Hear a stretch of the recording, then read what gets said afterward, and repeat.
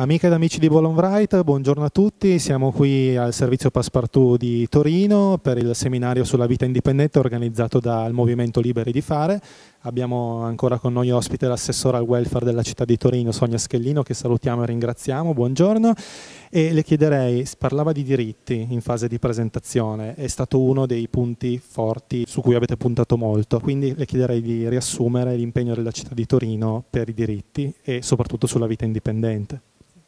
Eh, l'impegno della città per le persone con disabilità è quello di dare a loro la possibilità di sentirsi esattamente come gli altri.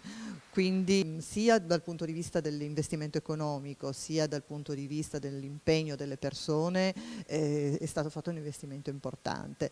Mm, continueremo così nonostante l'eventuale carenza di risorse che come si sa in questi anni colpisce tutte le amministrazioni, le persone con disabilità si devono sentire esattamente uguali agli altri, è un percorso non facilissimo perché vuol dire far sì che una città sia molto smart, sia a misura di qualsiasi persona anche con delle difficoltà temporanee o definitive, anche per una mamma col passeggino un gradino può diventare un ostacolo anche se non c'è nessun tipo di disabilità in questa situazione. Dobbiamo fare in modo il più possibile che le nostre città siano completamente vivibili e le persone con delle difficoltà e con delle disabilità possano sentirsi uguali agli altri e vivere una vita appunto indipendente una delle cose più importanti nel sociale sono le idee no? e non sentirsi soli, quindi l'importanza della rete e della coprogettazione. Quanto è importante questo aspetto? Ma è importantissimo perché a volte ci sono dei fondi ma non c'è l'idea giusta e senza l'idea giusta si può sprecare o si possono consumare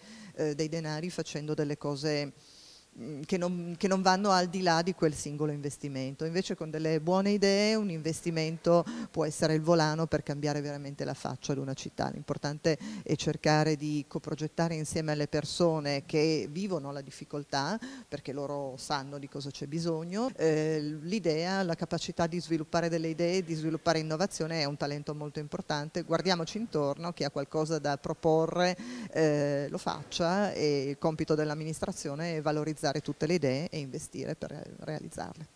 Come ultima domanda le chiederei di svestire per un attimo i panni istituzionali e entrare in quelli di cittadina. Che cos'è per lei, qual è il significato di vita indipendente? Ma, eh, il significato è che una persona si senta assolutamente uguale agli altri, ma che anche gli altri la percepiscano come tale.